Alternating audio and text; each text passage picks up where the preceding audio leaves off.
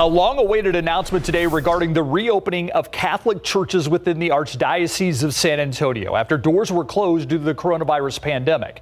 Archbishop Gustavo García-Siller teamed up with the Tex Hill wing of the Commemorative Air Force at Stinson Airport and announced that churches can resume Mass later this month as long as health and safety guidelines are followed. As Devin Clark shows us, the anticipated news kicked off a ceremony in the skies. It is with great joy that I am able to restore the sacramental life of our local church.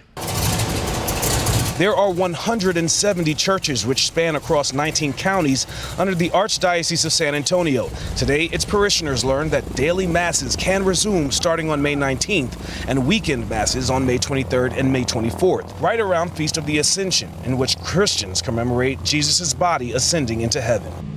But it's wonderful to know that we'll be able to get together and pray and worship the Lord.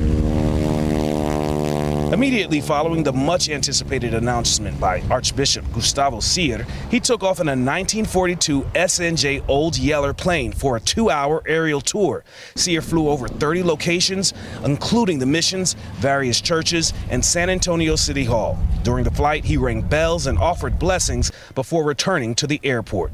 But what an opportunity we have today to build inspiration and hope Archbishop Siller says that once churches do reopen, social distancing must be maintained and everyone is going to be required to wear a mask. There will be no hugging, no handshaking.